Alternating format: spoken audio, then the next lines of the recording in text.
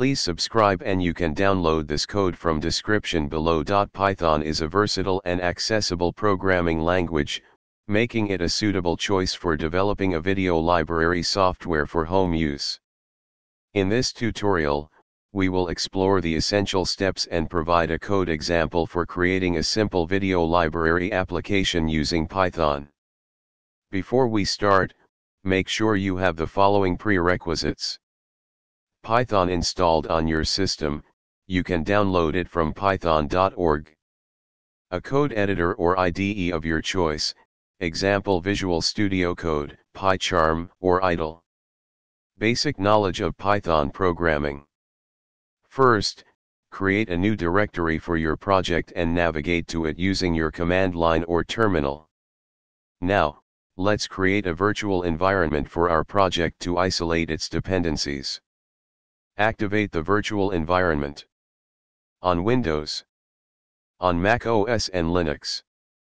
For this project, we will need the tkinter library for the graphical user interface, GUI, and SQLite 3 for managing the database.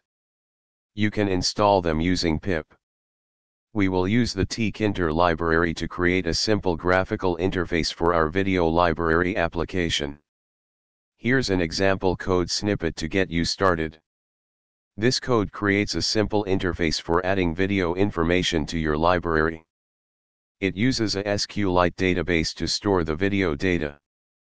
To run the application, simply execute the Python script.